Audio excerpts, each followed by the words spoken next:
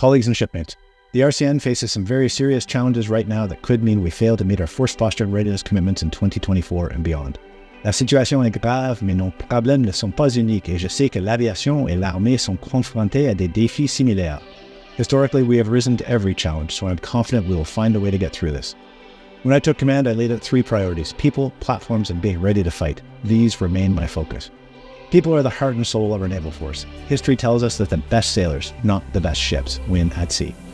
The RCN is in a critical state, with many occupations experiencing shortages at 20% and higher. There's a simple reason for this. Despite their very best efforts, CFRG has not delivered the required intake for the RCN for over 10 years. While our overall attrition is generally good, a MarTech leaves us every two days.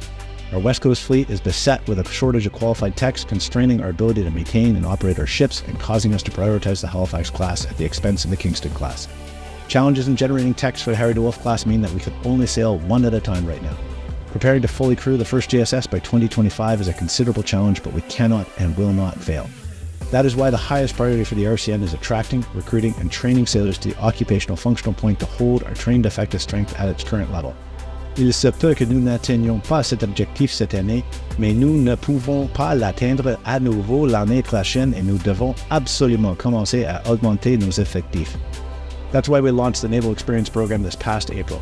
98 candidates are enrolled with 400 prospects in the recruiting process, helping to address the RCN's requirement of 1,200 new enrollees this year and every year thereafter. NEP has other benefits. It has engaged our Naval Reserve divisions in recruiting for the regular force.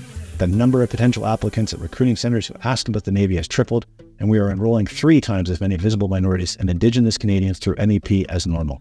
It has forced the RCN to better manage all our personnel on the basic training list, which is beginning to deliver an improved experience for all trainees.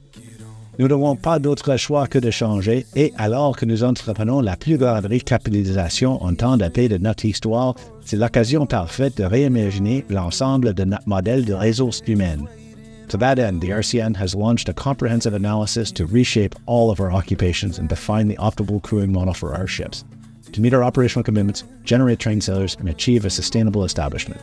It is a massive undertaking with key decisions that must be made in the next two years.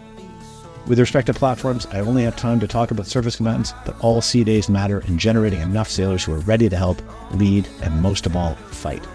The Halifax class frigates are and will remain our only surface combatant for at least the next 15 years. Why? Because we can't retire the Halifax class until we have at least four Canadian surface combatants certified for operations. We have made great progress in the past year because of some tough decisions to prioritize schedule over initial capability, and I am very confident that the first CSC will deliver early in the next decade.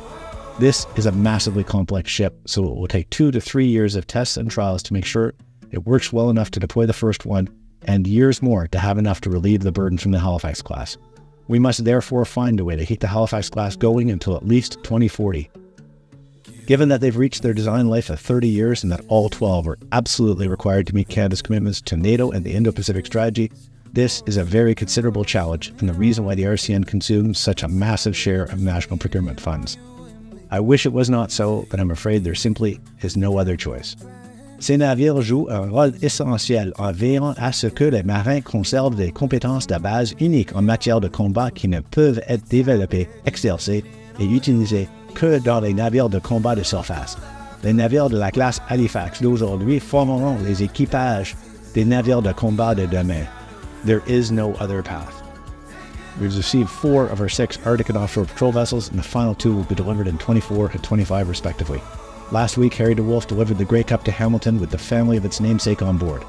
Like all new ships, they've had teething problems, but let me assure you that the AOPVs are outperforming expectations and are proving the value of the national shipbuilding strategy.